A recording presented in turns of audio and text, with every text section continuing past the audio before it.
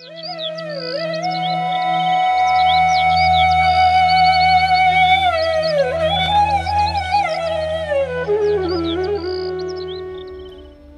शम्भु शिव हे महेश्वर विभु हे वारणाशिष प्रभु हे मृत्युञ्जय हे हिमाद्रितनया प्राणेश हे शङ्कर हे कैलास गिरीश हे पशुपते हे शेषभूषा द्रुते हे नन्दीश्वर वाहनां चितगते हे देवदेवेश्वर हे गौरी कुचकुम्भ मर्दन पट हे हे सर्वलोक प्रभु हे हे रम्ब कुमार नन्दन गुरु हे हे चन्द्र चूडामणि हे रुद्र हे मोहित हे परमेश शम्भो हे सर्व हे गिरीश हे शिव हे स्वयम्भो प्रभु भक्त मनवांछा पूर्ण प्रीति अर्थे तव चरणारविन्द जुगळे सततं नमामि सततं नमामि ॐ नमः ଶିବାୟ ଶ୍ରାବଣ ମାସର ପୁଣ୍ୟତିଥିର ତ୍ରିନୟନ କାର୍ଯ୍ୟକ୍ରମରେ ଏ ପ୍ରଭୁଙ୍କର ମସ୍ତକରେ କାହିଁକି ଚନ୍ଦ୍ର ଆଉ ଇଏ ପ୍ରଭୁ କାହିଁକି ଚନ୍ଦ୍ରଶେଖର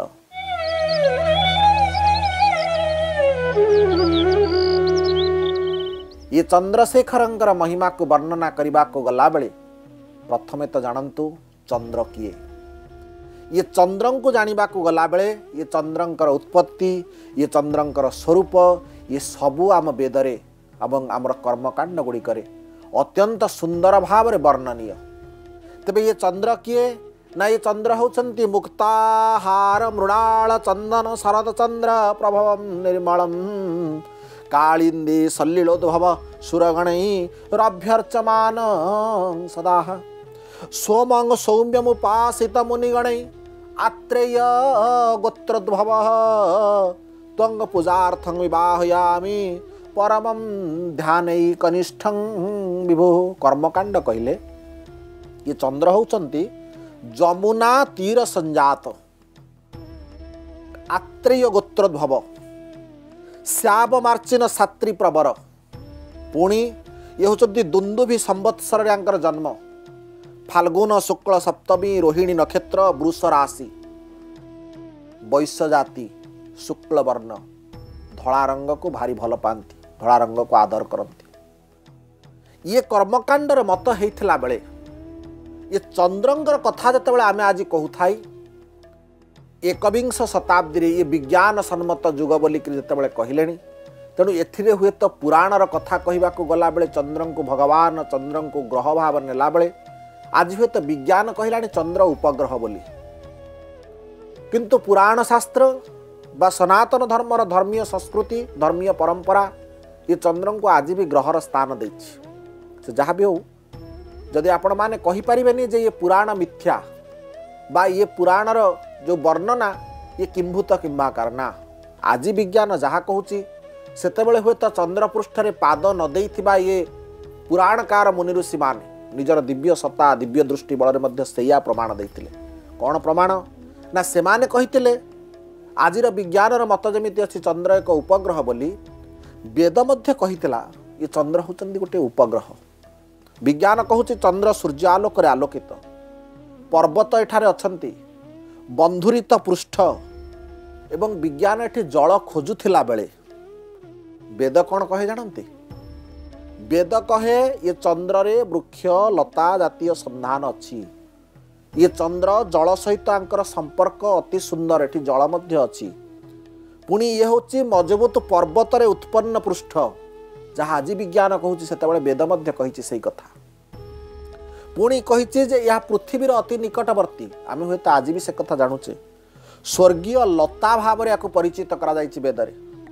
ଔଷଧି ବୃକ୍ଷର ରାଜା ହୋଇଥିବାରୁ ତାକୁ ବନସ୍ପତି ବା ଔଷଧୀଶ ନାମରେ ମଧ୍ୟ ବେଦ ପ୍ରକାଶ କରିଛନ୍ତି। ୟାଙ୍କର ରଙ୍ଗ ବଭ୍ରୁବର୍ଣ୍ଣ ବା ଧଳା ବର୍ଣ୍ଣ ବା ଶୁକ୍ଳ ବର୍ଣ୍ଣ ବୋଲି ମଧ୍ୟ ବେଦ କହିଛନ୍ତି।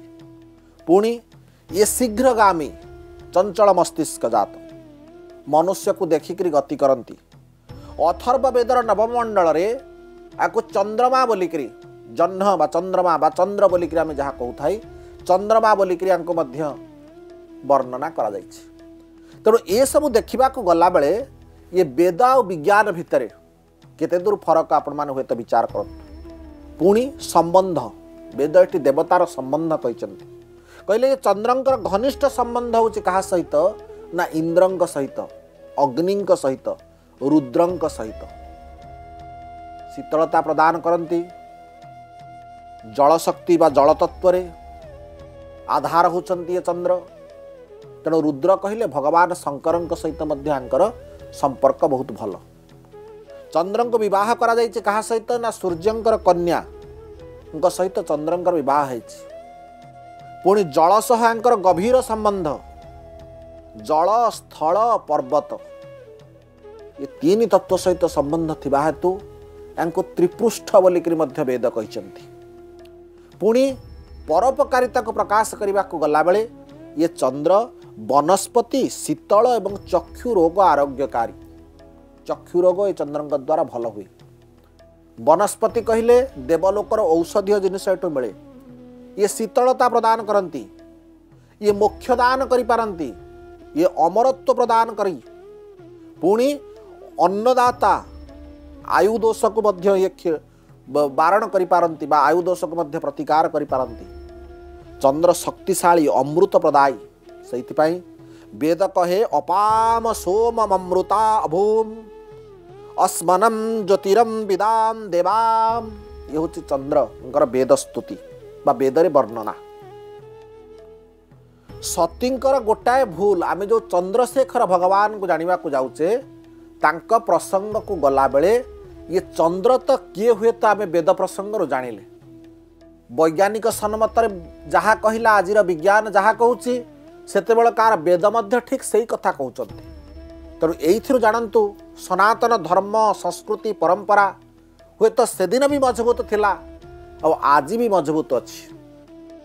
ଆମେ ହୁଏତ ବେଦକୁ ସଠିକ୍ ଭାବରେ ଅନୁକରଣ କରିନେ ଅନୁସରଣ କରିନେ।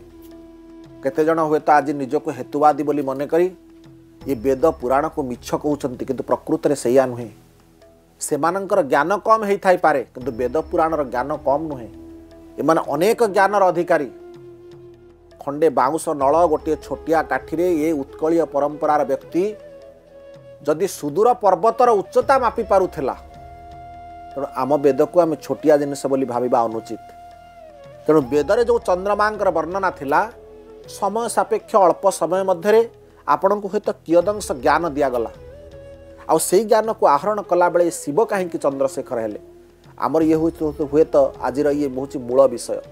ତେଣୁ ଇଏ ମୂଳ ବିଷୟକୁ ଗଲାବେଳେ ଯେତେବେଳେ ଦକ୍ଷ ଯଜ୍ଞର ପ୍ରସଙ୍ଗ ଆମେ ଆପଣମାନଙ୍କ ସମ୍ମୁଖରେ ବର୍ଣ୍ଣନା କରୁଥିଲୁ ସେତେବେଳେ ଏ ଦକ୍ଷ ଯଜ୍ଞର ସମ୍ପର୍କ ବର୍ଣ୍ଣନା କଲାବେଳେ ଦକ୍ଷଙ୍କର ଯେଉଁ କନ୍ୟା ସତୀ ଯିଏ ମଙ୍ଗଳମୟ ଭଗବାନ ଶଙ୍କରଙ୍କୁ ବିବାହ କରିଥିଲେ। ସତୀ ଗୋଟାଏ ଭୁଲ କରି ବସିଥିଲେ ଦିନେ। କ'ଣ ଭୁଲ କରି ବସିଥିଲେ? ନା ହୁଏତ ଯୁଗ ଥିଲା ତ୍ରେତୟା। ତ୍ରେତୟା ଯୁଗରେ ରାମ କଥା ଶୁଣି ଭଗବାନ ଶଙ୍କର ଆଉ ସତୀ ଆକାଶ ମାର୍ଗରେ ଗଲାବେଳେ ପ୍ରଭୁ ରାମଙ୍କର ଚାଲିଥିଲା ବନଗମନ ଲୀଳା। ଆଉ ସେ ବନଗମନ ମାନବୀୟ ଲୀଳା କଲାବେଳେ ସେଦିନ ହୁଏତ ସୀତାହରଣ ହୋଇସାରିଥିଲେ। ଆଉ ସୀତାଙ୍କୁ ଖୋଜି ଖୋଜି ପ୍ରଭୁ ରାଘବେନ୍ଦ୍ର ସରକାର ଏବଂ ଲକ୍ଷ୍ମଣ ଭଗବାନ ବନ ପ୍ରଦେଶରେ ଆଗକୁ ବଢ଼ୁଥିଲା ବେଳେ ଆକାଶ ମାର୍ଗରୁ ଥାଇକିରି ଲକ୍ଷ୍ୟ କଲେ କିଏ ନା ଭଗବାନ ଶଙ୍କର?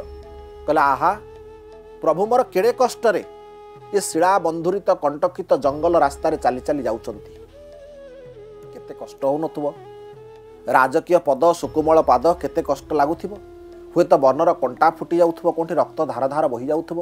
ଏ ସବୁକୁ ଲକ୍ଷ୍ୟ କରି ପ୍ରଭୁଙ୍କର ଉଦ୍ଦେଶ୍ୟରେ ହେ ଜଗପାବନ ଆପଣଙ୍କର ଚରଣାରବିନ୍ଦ ତଳେ କୋଟି କୋଟି ପ୍ରଣାମ ବୋଲିକରି ନମସ୍କାର କରିଦେଲେ ନମସ୍କାର କଲାବେଳେ ସେଦିନ ମା ସତୀଙ୍କ ମନରେ ଗୋଟେ ସନ୍ଦେହ ଜାତ ହେଲା କାହିଁକି ନା ସେ ପର୍ଯ୍ୟନ୍ତ ସତୀ ଜାଣିଥିଲେ ଯେ ତାଙ୍କରି ସ୍ୱାମୀ ଭଗବାନ ଦେବଦେବ ମହାଦେବ ହେଉଛନ୍ତି ଏ ସକଳ ଜଗତର ଦେବତାଙ୍କ ଭିତରେ ଶ୍ରେଷ୍ଠ ଯଦି ଇଏ ମହାଦେବ ଯଦି ଇଏ ହେଉଛନ୍ତି ସକଳ ଦେବତାଙ୍କର ଶ୍ରେଷ୍ଠ ତେବେ ଇଏ ପୁଣି କାହାକୁ ନମସ୍କାର କରୁଛନ୍ତି ଇଏ ତ ବିଶ୍ୱବନ୍ଦ୍ୟ ଇଏ ବିଶ୍ୱବନ୍ଦ୍ୟ ଠାକୁର ପୁଣି କାହାକୁ ନମସ୍କାର କରନ୍ତି? ସେଇ କଥା ହୁଏତ ପଚାରିଦେଲା ବେଳେ ସତୀଙ୍କ ମନର ସନ୍ଦେହ ମୋଚନ କରିବାକୁ ସେଦିନ ଚେଷ୍ଟା କରିଥିଲେ ଦେବଦେବ ମହାଦେବ।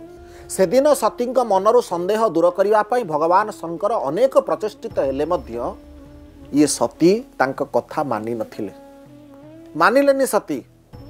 ଭାବିଲେ ସାଧାରଣ ନାରୀ ଭାବରେ ଯେ ପ୍ରକୃତରେ ଯିଏ ହେଉଛନ୍ତି ସ୍ୱୟଂ ସିଦ୍ଧ ପୁରୁଷ। ଯିଏ ସ୍ୱୟଂ ନାରାୟଣ ଯିଏ ପରଂ ବ୍ରହ୍ମ ଠାକୁର ସିଏ ହୁଏତ ସବୁ କଥା ଅନ୍ତର୍ଜାମୀ ଭାବରେ ତାଙ୍କୁ ଜଣା। ଏତେ ଦୂରରେ ଥାଇକିରି ଗୋଟାଏ କୁମ୍ଭୀର ଯେତେବେଳେ ଡାକିଲା ବା କୁମ୍ଭୀର ସହିତ ହାତୀର ସଂଘର୍ଷ ଚାଲିଥିଲା ବେଳେ ଗଜ ଯେତେବେଳେ ଡାକିଲା ପ୍ରଭୁଙ୍କୁ ଉଦ୍ଧାର କରିବା ପାଇଁ ଗଜ କୁମ୍ଭୀର ଉପାଖ୍ୟାନରେ। ଗଜ ଉଦ୍ଧାର କରିବା ପାଇଁ ପ୍ରଭୁ ଥିଲେ କେଉଁଠି? କୁମ୍ଭୀର ଥିଲା କେଉଁଠି? ଗଜ ଥିଲା କେଉଁଠି? ଅଥଚ ସେ ଜାଗାରୁ ଥାଇକିରି ଯଦି ଏ ପ୍ରଭୁ ଚକ୍ର ପେଶି ନକ୍ର ନାସି ପାରିଲେ ତେବେ ଆଜିର ଏଇ ଯେଉଁ ଲୀଳା ଚାଲିଛି ବା ସୀତାଙ୍କୁ ହୁଏତ ହରଣ କରି ନେଇଛି ଲଙ୍କାପୁରୀର ରାଜା ରାବଣ। ଏକଥା କ'ଣ ପ୍ରଭୁଙ୍କୁ ଜଣା ନାହିଁ? ପରଂ ବ୍ରହ୍ମ ଠାକୁର କ'ଣ ଏକଥା ଜାଣିନାହାନ୍ତି? ଗଛ ଲତା ପର୍ବତ ପାହାଡ଼ ଜୀବ ଜନ୍ତୁ ବନ ପ୍ରଦେଶର ହୁଏତ ବନବାସୀମାନଙ୍କୁ ଏମିତି ନିଉଛାଳି ହେଇକରି ପଚାରୁଛନ୍ତି। ଆଖିରୁ ଧାର ଧାର କରି ଲୋତକ ଗଡ଼ଉଛନ୍ତି। ହା ସୀତା ହା ସୀତା ବୋଲି କାନ୍ଦୁଛନ୍ତି ଇଏ କ'ଣ ପ୍ରକୃତରେ ବ୍ରହ୍ମ ଇଏ କ'ଣ ପ୍ରକୃତରେ ବ୍ରହ୍ମ ଏଇ ଚିନ୍ତା ଚେତନା ଭିତରେ ସେଦିନ ସତୀ ବାହାରି ପଡ଼ିଲେ ଶଙ୍କର ଭଗବାନଙ୍କ କଥାକୁ ମାନିଲେନି ବାହାରି ପଡ଼ିଲେ ପରୀକ୍ଷା କରିବେ ବୋଲି କାହାକୁ ପରୀକ୍ଷା କରିବେ ନା ବ୍ରହ୍ମଙ୍କୁ ପରୀକ୍ଷା କରିବେ ମନେ ରଖନ୍ତୁ ବିଦଗ୍ଧ ବିବୁଧ ଶତ୍ରୁମଣ୍ଡଳୀ ବ୍ରହ୍ମଙ୍କୁ ପରୀକ୍ଷା କରିବାକୁ ଯିଏ ଯେତେବେଳେ ଯେଉଁ ମୁହୂର୍ତ୍ତରେ ଆଜି ବି ଯଦି କେବେ ଏ ପ୍ରକାର ଚେଷ୍ଟା ତ ନୁହେଁ ଏ ଅପଚେଷ୍ଟା କରିଛି ନିଶ୍ଚିତ ଭାବରେ ତାର ଫଳ ଭୋଗିଛି ଏ ଫଳ କାହାରି କିଛି ବାଦ ଦେଇନି। ସେଦିନ ହୁଏତ ମା ସତୀଙ୍କି ବି ଏ ଫଳ ବାଦ ଦେଇନଥିଲା। ମା ସତୀ ଯେତେବେଳେ ଯାଇକିରି ମାଙ୍କର ରୂପ ନେଇ ମା ସୀତାଙ୍କର ରୂପ ନେଇ ଜନକ ରାଜନନ୍ଦିନୀ ମା ସୀତାଙ୍କର ରୂପ ନେଇ ଛିଡ଼ା ହେଇଗଲେ ପ୍ରଭୁ ଭଗବାନଙ୍କ ଆଗରେ।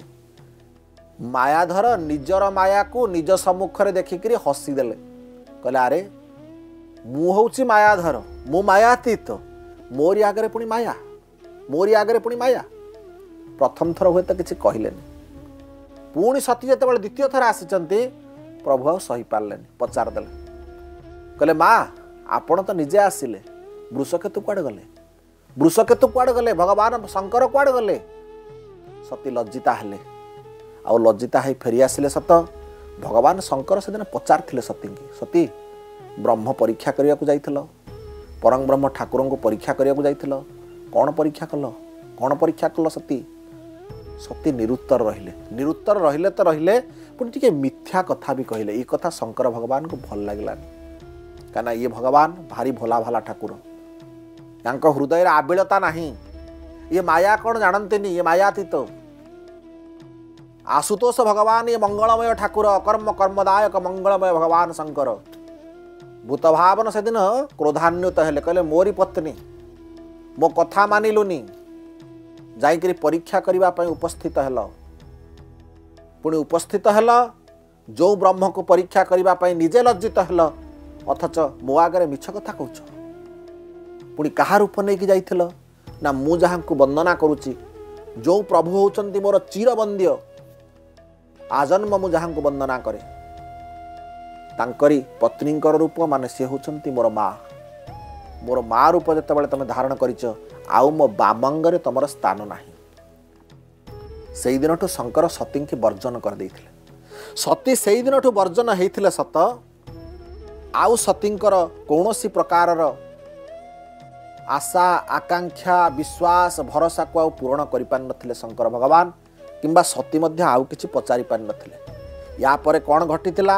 ନା ଆମେ ହୁଏତ ଆପଣଙ୍କୁ ଯକ୍ଷ ଯଜ୍ଞରେ ଶୁଣେଇଛୁ ଅଥବା ମାନନଂ ପିତୁ ପ୍ରଯୁକ୍ତା ଦକ୍ଷସ୍ୟ କନ୍ୟା ଭବପୂର୍ବ ପତ୍ନୀ ସତୀ ସତୀ ଯୋଗ ବିସୃଷ୍ଟ ଦେହା ଯୋଗରେ ନିଜର ଅଷ୍ଟାଙ୍ଗ ଯୋଗ ବିଧିରେ ସତୀ ସତୀ ଯୋଗରେ ନିଜ ଦେହକୁ ନିଜେ ବିଲୀନ କରିଦେଇଥିଲେ ତେଣୁ ସେ ଜନ୍ମରେ ସତୀ ଆଉ କିଛି ପଚାରି ପାରିନଥିଲେ କିନ୍ତୁ ଯେତେବେଳେ ପାର୍ବତୀ ହେଇକରି ପରିଣୟ ହେଇଗଲା ପାର୍ବତୀ ହେଇକରି ଯେତେବେଳେ ମା ଯୋଗମାୟା ଆସିଗଲେ ପ୍ରଭୁ ଶଙ୍କର ଭଗବାନଙ୍କ ପାଖକୁ ମା ଯେତେବେଳେ ସର୍ବମଙ୍ଗଳ ମାଙ୍ଗଲ୍ୟେ ଶିବେ ସର୍ବାର୍ଥ ସାଧିକେ ଶରଣ୍ୟେ ତ୍ରୟମ୍ବିକେ ଗୌରୀ ନାରାୟଣୀ ନମସ୍ତୁତେ ଇଏ ମା ଯେତେବେଳେ ଶଙ୍କର ଭଗବାନଙ୍କ ପାଖରେ ବସିଲେ ଶ୍ରଦ୍ଧା ଯେତେବେଳେ ବିଶ୍ୱାସଙ୍କ ଅଙ୍ଗରେ ବିଲୀନ ହେଲା ଅର୍ଦ୍ଧନାରୀଶ୍ୱର ମୂର୍ତ୍ତି ହେଇକରି ଛିଡ଼ା ହେଲେ କର୍ପୂର ଗୌରଂ କରୁଣାବତାରಂ ସଂସାର ସାରଂ ଭୁଜଗେନ୍ଦ୍ର ହାରಂ ସଦା ବସନ୍ତಂ ହୃଦୟାର ବିନ୍ଦେ ଭବଂ ଭବାନୀ ସହିତଂ ନମାମି ଯେତେବେଳେ ଭବ ଭବାନୀ ଅର୍ଦ୍ଧନାରୀଶ୍ୱର ରୂପରେ ବିରାଜିତ ହେଲେ ସେତେବେଳେ ମା ପାର୍ବତୀ ମହାରାଣୀଙ୍କୁ ଅବକାଶ ମିଳିଗଲା ଯେତେବେଳେ ଯାହା ପାରିଲେ ମା ପାର୍ବତୀ ମହାରାଣୀ ପଚାରି ଚାଲିଲେ କହିଲେ ଗୋଟାଏ ଜନ୍ମ ବିତିଗଲା ପଚାରି ପାରିନଥିଲି କିନ୍ତୁ ଏବେ ଯେଉଁ ପାର୍ବତୀ ହେଇକରି ଆସିଛି ଆଉ ଏ ଭୁଲ କେବେ କରିବିନି ଯାହା ମନ ଭିତରେ ସନ୍ଦେହ ଅଛି ନାରୀ ପ୍ରାଣର ସନ୍ଦେହ ସବୁ ବିମୋଚନ କରିବି ଗୋଟିଏ ପରେ ଗୋଟିଏ ବ୍ରହ୍ମ ତତ୍ତ୍ୱଠାରୁ ଆରମ୍ଭ କରି ସବୁ କଥା ମା ପାର୍ବତୀ ମହାରାଣୀ ପଚାରିଛନ୍ତି। ଗୋଟେ ଶାସ୍ତ୍ର ତିଆରି ହେଇଗଲା ଆଗମ ଶାସ୍ତ୍ର। ନିଗମ ଶାସ୍ତ୍ର ବେଦ ହେଇଥିଲା ବେଳେ ମା ପାର୍ବତୀ ମହାରାଣୀ ଏବଂ ଶଙ୍କର ଭଗବାନଙ୍କର କଥୋପକଥନ ଶାସ୍ତ୍ର ହେଇଗଲା ଆଗମ। ତେଣୁ ଏଇଭଳି ଭାବରେ ସେଦିନ ମା ପାର୍ବତୀ ମହାରାଣୀ ପଚାରିଲେ କହିଲେ ପ୍ରଭୁ ମୁଁ ଆପଣଙ୍କର ଜୀବନର ପ୍ରିୟତମା। ସକଳ ଜନଜଗତ ଜାଣେ ମୁଁ ଆପଣଙ୍କର ଅର୍ଦ୍ଧାଙ୍ଗିନୀ। ଆପଣ ହେଉଛନ୍ତି ଅର୍ଦ୍ଧନାରୀଶ୍ୱର। ଏକଥା ସତ ତ? ପ୍ରଭୁ କହିଲେ ହଁ। ଏଥିରେ କ'ଣ ସନ୍ଦେହ ହେଉଛି ପାର୍ବତୀ? କହିଲେ ମୋର ସନ୍ଦେହ ନାହିଁ ପ୍ରଭୁ। କାହିଁକି ନା ଆପଣ ଯେହେତୁ ବିଶ୍ୱାସର ପ୍ରତୀକ ଆପଣଙ୍କ ଉପରେ ବିଶ୍ୱାସ ମୋର ସଦାସର୍ବଦା ବଳବତ୍ତର। ଆପଣଙ୍କୁ ଅବିଶ୍ୱାସ କରିବାର ପ୍ରଶ୍ନ ଉଠୁନି। କିନ୍ତୁ ମନରେ ଗୋଟାଏ ଜିଜ୍ଞାସା ଅଛି। ଦେଖନ୍ତୁ ମାର କଥା। କହିଲେ ସନ୍ଦେହ ନାହିଁ ଅବିଶ୍ୱାସ ନାହିଁ କିନ୍ତୁ ଜିଜ୍ଞାସା ଅଛି। ଜାଣିବାର ଇଚ୍ଛା ଅଛି ପଚାରି ପାରିବି? କହିଲେ ପଚାର। କହିଲେ ପ୍ରଭୁ ମୁଁ ଆପଣଙ୍କର ଅତି ପ୍ରିୟ ବୋଲି ଆପଣ ମୋତେ ବାମାଙ୍ଗରେ ଧାରଣ କରିଛନ୍ତି ଅର୍ଦ୍ଧନାରୀଶ୍ୱର ରୂପ ହୋଇଛନ୍ତି ଜଗତ ଜାଣିଛି ଆପଣ ଈଶ୍ୱର ମୁଁ ପାର୍ବତୀ। ହେଲେ ଯେଉଁ ମସ୍ତକରେ ଯେଉଁ ଚନ୍ଦ୍ରଟା ଶୋଭା ପାଉଛି ପ୍ରଭୁ ଇଏ ଚନ୍ଦ୍ର ପାଇଁ ମଧ୍ୟ ଆପଣଙ୍କର ନାଁ ଅଛି ଆପଣଙ୍କୁ ଚନ୍ଦ୍ରଶେଖର କିଏ କହୁଛି କିଏ ଶଶାଙ୍କ ମୌଳି କହୁଛି? ଏଇ କଥାଟାକୁ ଟିକେ ଜାଣିବା ପାଇଁ ନାରୀ ପ୍ରାଣରେ ଟିକେ ଗୋଟେ ଉଲ୍ଲାସତା ଆସିଛି ଗୋଟେ ଉତ୍ସୁକତା ଆସିଛି ଗୋଟେ ଜିଜ୍ଞାସା ଆସିଛି ପ୍ରଭୁ ବତେଇବେନି ଭଗବାନ ଶଙ୍କର ହସିଦେଲେ କହିଲେ ପାର୍ବତୀ ଏଇ କଥା ଜାଣିପାରୁଛି ଇଏ ନାରୀ ମନର ହୁଏତ ଗୋଟେ ଉତ୍ସୁକତା ଗୋଟେ ଆହ୍ଲାଦ ଆଉ ସେଇ ଆହ୍ଲାଦ ଭିତରେ ତମେ ହୁଏତ ପଚାରି ବସିଛ କାହିଁକି ନା ନାରୀ ପ୍ରାଣ ସଦାସର୍ବଦା ଚାହେଁ ମୋ ପତି ମୋ ପତି ପରମେଶ୍ୱର ଯାହାଙ୍କର ପାଣି ଗ୍ରହଣ କରିଛି ଯାହାଙ୍କର ହାତ ଧରିଛି ଯାହାଙ୍କୁ ଜୀବନ ସାତ ଜନ୍ମ ପର୍ଯ୍ୟନ୍ତ ଆଜନ୍ମ ପର୍ଯ୍ୟନ୍ତ ନିଜର ପତି ରୂପରେ ବରଣ କରିବାକୁ ଚାହିଁଛି। ତାଙ୍କର ଅଙ୍ଗସଙ୍ଗ ଯଦି ଆଉ ଜଣେ କିଏ ଲାଭ କଲା ଟିକିଏ ମନ ଭିତରେ ସନ୍ଦେହ ଆସିବ ଜିଜ୍ଞାସା ଆସିବ। ତେଣୁ ସେଇ ଜିଜ୍ଞାସାରେ ହୁଏତ ମୋତେ ଏ ପ୍ରଶ୍ନ ପଚାରିଛ ଠିକ୍ କରିଛ। ବତେଇବି ସତୀ ଯେଉଁ ଜିଜ୍ଞାସା କରିଛ ତମ ଶଙ୍କେ ଶଙ୍କାକୁ ମୋଚନ କରିବା ପାଇଁ ମୋର ଉତ୍ତର ଶୁଣ। ମା ପାର୍ବତୀ ମହାରାଣୀ ଶାନ୍ତ ସ୍ନିଗ୍ଧ ଚିତ୍ତରେ ବସିକି ରହିଲେ ପ୍ରଭୁ କ'ଣ କହୁଛନ୍ତି? କହିଲେ ଶୁଣ ଶୁଣ। ଯେତେବେଳେ ସତୀଙ୍କର ବିୟୋଗ ହେଲା ଯେତେବେଳେ ସତୀ ସତୀ ଯୋଗ ବିସୃଷ୍ଟ ଦେହା ନିଜ ଦେହକୁ ନିଜ ଶରୀରରୁ ଜାତ ଅଗ୍ନିରେ ନିଜେ ଦଗ୍ଧ କରିଦେଲେ। ମୋର ଏତେ ଭଲ ପାଇବା ଥିଲା ମୋର ଏତେ ଭଲ ପାଇବା ଥିଲା। ମନରେ ମୋର ଭୀଷଣ କ୍ରୋଧ ଜାତ ହେଲା। ଯେଉଁ କ୍ରୋଧକୁ ମୁଁ ଆଉ ସମ୍ଭାଳି ପାରିଲିନି ଯେଉଁ କ୍ରୋଧରେ ମୋ ତୃତୀୟ ନୟନ ବିସ୍ଫାରିତ ହେଇ ରହିଲା ଆଉ ତୃତୀୟ ନୟନ ବିସ୍ଫାରିତ ହେବ ମାନେ ଏ ସୃଷ୍ଟିରେ ପ୍ରଳୟ ପାଗଳ ଭାବରେ ଉନ୍ମତ୍ତ ଭାବରେ ମୁଁ ନୃତ୍ୟ କରିବାକୁ ଲାଗିଲି ତୃତୀୟ ନୟନ ବାରମ୍ବାର ଉଦ୍ଗିରଣ ହେଲା ଅଗ୍ନିଶିଖା ଶବ୍ଦାୟିତ ହେଲେ ସମ୍ବର୍ତ୍ତର ଶ୍ୱାସ ଅତଳାନ୍ତ ଅଭ୍ୟନ୍ତରରେ ଅବର୍ତ୍ତିତ ହେଲେ ଅଣୁ ପରମାଣୁ ପୁଞ୍ଜୀଭୂତ ପ୍ରସବର ଗ୍ରାସରେ ପ୍ରଳୟର ପ୍ରତିଧ୍ୱନି ଶୁଭିଲା ଏ ସଂସାର ଭିତରେ। ଏ ସଂସାର ତ୍ରାହି ତ୍ରାହି ଡାକିଲା। ସ୍ଖଳିତ ସ୍ୱପ୍ନର ସ୍ୱରରେ ଗଳିତ ହେଲେ ଗ୍ରହାଣୁ ପୁଞ୍ଜ। ସକଳ ଗ୍ରହ ଗ୍ରହାଣୁ ପୁଞ୍ଜ ମାନେ ନିଜ ନିଜ ସ୍ଥାନରୁ କକ୍ଷଚ୍ୟୁତ ହେବାକୁ ଲାଗିଲେ। ସୃଜନର ସ୍ୱପ୍ନ ଭାଙ୍ଗିଗଲା ସୃଷ୍ଟିର ସ୍ୱପ୍ନ ଭାଙ୍ଗିଗଲା। ସୂର୍ଯ୍ୟଙ୍କର ବିଳାପ ଶୁଭିଲା। ଅନ୍ତର୍ହିତ ହେଲେ ଅଷ୍ଟନାଗ। ଦିବଙ୍ଗତ ହେଲେ ଦଶଦିଗ ପାଳ। ଦେବତାଙ୍କର ଆର୍ତ୍ତନାଦ। ଭୂମି ଗର୍ଭରେ ଭୂମାର ବିଳାପ।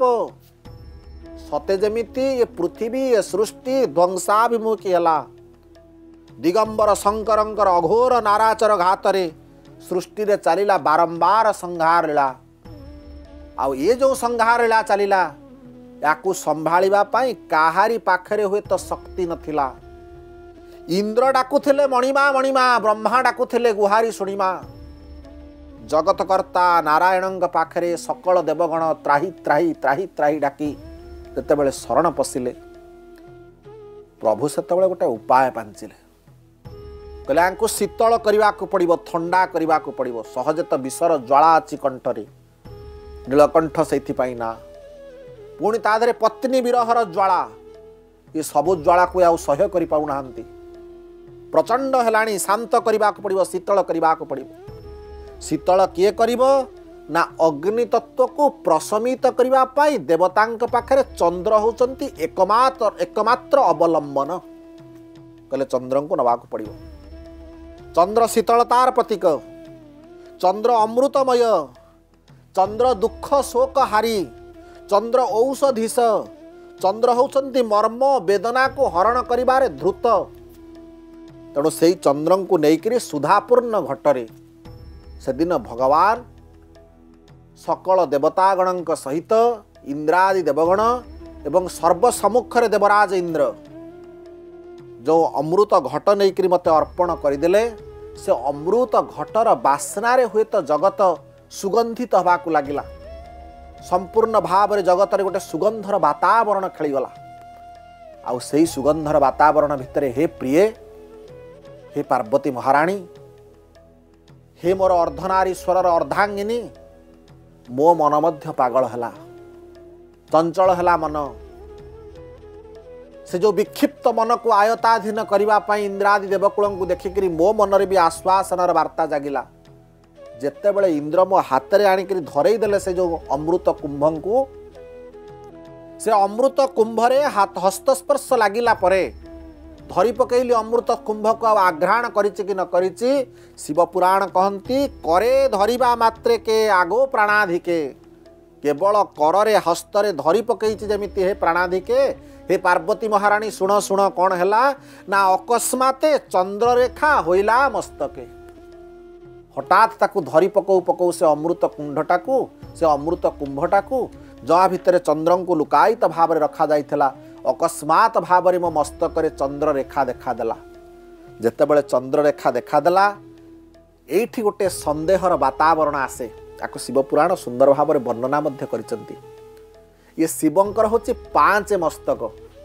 ଆପଣମାନେ ସମସ୍ତେ ଜାଣନ୍ତି ତାଙ୍କର ଗୋଟେ ନାଁ ହେଉଛି ପଞ୍ଚାନନ। କାହିଁକି ପଞ୍ଚାନନ? ନାଙ୍କର ପାଞ୍ଚ ମୁଖର ପାଞ୍ଚ ନାଁ। କହିଲେ ଈଶାନ ଚାପି ଅଘୋର ସଦ୍ୟଜାତ ବାମ ଦେବତା ତତ୍ପୁରୁଷ ପଞ୍ଚମେ ଶମ୍ଭୁ ମୁଖ ନାମ କ୍ରମ ଈଶାନ ଅଘୋର ସଦ୍ୟଜାତ ବାମ ଦେବତା ତତ୍ପୁରୁଷ ପାଞ୍ଚ ମୁଖ ଏ ପ୍ରଭୁଙ୍କର ଏ ପ୍ରଭୁଙ୍କର ସିନା ପାଞ୍ଚ ମୁଖ ଇଏ ପାଞ୍ଚ ମୁଖରେ ପ୍ରଭୁଙ୍କର ପନ୍ଦର ଆଖି କିନ୍ତୁ ପଶ୍ଚିମ ମୁଖ ବା ଯାହାକୁ ଈଶାଣେଶ୍ୱର ବା ଈଶାନ ବୋଲିକି ଆମେ କହୁ ସେଇ ମୁଖର ଚକ୍ଷୁରୁ ଅଗ୍ନି ନିର୍ଗତ ହୁଅନ୍ତି ତେଣୁ ଚନ୍ଦ୍ରଙ୍କୁ ସେଇଠି ହିଁ ସ୍ଥାପନ କରିଦିଆଗଲା। ସେ ପଶ୍ଚିମ ମୁଖରେ ଚନ୍ଦ୍ର ଶୋଭା ପାଇଲେ। ଚନ୍ଦ୍ର ଯେତେବେଳେ ଶୋଭା ପାଇଲେ ଚନ୍ଦ୍ର ହେଉଛନ୍ତି ଅମୃତ ବର୍ଷୀ ଚନ୍ଦ୍ର ଶୀତଳତା ପ୍ରଦାନ କଲେ ପ୍ରଭୁଙ୍କୁ। ଆଉ ସେ ଯେଉଁ କ୍ରୋଧ ରହିଲାନି ଭୁଲିଗଲେ। ଆତ୍ମବିସ୍ମୃତ ହେଇଗଲେ ପ୍ରଭୁ। କହିଲେ ହେ ପାର୍ବତୀ ମହାରାଣୀ ତପ କରିବା ପାଇଁ ବସି ପଡ଼ିଲି। ତପ କରିବାକୁ ବସିବା ପୂର୍ବରୁ ଯେତେବେଳେ ଶାନ୍ତ ସ୍ନିଗ୍ଧ ମନମାନସିକତା ଆସିଲା ଦେବଗଣ ମୋର କେତେ କ'ଣ ନାଁ ଦେଲେ? ବ୍ରହ୍ମା ମୋ ନାଁ ଦେଲେ ଚନ୍ଦ୍ରଚୂଡ଼। ଚନ୍ଦ୍ର ରହିଲା ବୋଲିକିରି ମସ୍ତକରେ ନାଁ ଦେଲେ ଚନ୍ଦ୍ରଚୂଡ଼। ଇନ୍ଦ୍ର ମୋ ନାଁ ଦେଲେ ଶଶାଙ୍କ ଶେଖର। ସକଳ ଦେବଗଣ ମୋ ନାଁ ଦେଲେ ଚନ୍ଦ୍ରମୌଳି ପୁଣି କେହି କେହି ମୋତେ ଶଶାଙ୍କ ମୌଳି ବୋଲି କହିଲେ। ଏମିତି ଅନେକ ନାମ ସୋମନାଥ ସୋମେଶ୍ୱର ଚନ୍ଦ୍ରମୌଳି ଶଶାଙ୍କ ମୌଳି ଚନ୍ଦ୍ରଚୂଡ଼ ଶଶାଙ୍କ ଶେଖର ଏମିତି ଅନେକ ନାମରେ ମୁଁ ନାମିତ ହେଲି।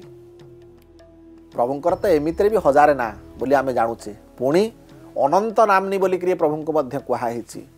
ତେଣୁ ସେଇ ଭାବର ଉଚ୍ଚାଟ ଭିତରେ ସେଦିନ ସକଳ ଦେବଗଣ ମୋତେ ହାତ ଯୋଡ଼ିକିରି ଯେଉଁ ସ୍ତୁତି କଲେ ତାକୁ କୁହାଗଲା ଶଶାଙ୍କ ମୌଳି ସ୍ତୁତି ବା ଚନ୍ଦ୍ରମୌଳି ସ୍ତୁତି। ସେଇ ସ୍ତୁତିରେ ଦେବଗଣ ଡାକିଲେ କ'ଣ ଡାକିଲେ? କହିଲେ ମାଙ୍ଗଲ୍ୟ ଦାନ ନିରତ ପ୍ରଣମଂ ଜନମାନୀ ମାଂଧାତୃ ମୁଖ୍ୟ ଧରଣୀ ପତି ଚିନ୍ତିତାଙ୍ଘ୍ରେ ମାଂ ଦ୍ୟାଙ୍ଗ ଧକାର ବିନିବାରଣ ଚଣ୍ଡଭାନୋ ମାଙ୍ଗ ପାହି ଧୀର ଗୁରୁଭୂତ ହେ ଶଶାଙ୍କ ମଉଳେ ହେ ଶଶାଙ୍କ ମଉଳେ କହିଲେ ହେ ଶଶାଙ୍କ ମଉଳି ଆପଣଙ୍କ ମଙ୍ଗଳଦାୟୀ ହୁଅନ୍ତୁ ସକଳ ଅନ୍ଧକାରକୁ ଦୂରୀଭୂତ କରନ୍ତୁ ସକଳ ଦେବଗଣକୁ ଆସ୍ଥା ପ୍ରଦାନ କରନ୍ତୁ ଆପଣ ସକଳ ଜଗତର ଗୁରୁତୁଲ୍ୟ ଆଲୋକବର୍ତ୍ତିକା ପ୍ରଦାନ କରନ୍ତୁ ଇଏ ସକଳ ଜଗତ ଆପଣଙ୍କର ଶୀତଳତାକୁ ଅନୁଭୂତ କରୁ ଆପଣ ସକଳ ଜଗତ ପାଇଁ ବରଦାୟୀ ମଙ୍ଗଳଦାୟୀ ଫଳଦାୟୀ ଶୁଭଦାୟୀ ହୁଅନ୍ତୁ। ସେହି ଆଶୀର୍ବାଦର ଭିକ୍ଷାରେ ପ୍ରଭୁଙ୍କର ଚରଣାର ବିନ୍ଦ ତଳେ ସମୟର ଇଙ୍ଗିତରେ ଆଜିର କାର୍ଯ୍ୟକ୍ରମକୁ ସେହି ଚନ୍ଦ୍ରମୌଳି ଅର୍ପଣମସ୍ତୁ କରି ପ୍ରଭୁଙ୍କର ଉଦ୍ଦେଶ୍ୟରେ ଓଂ ଶାନ୍ତି ଶାନ୍ତି ଶାନ୍ତି।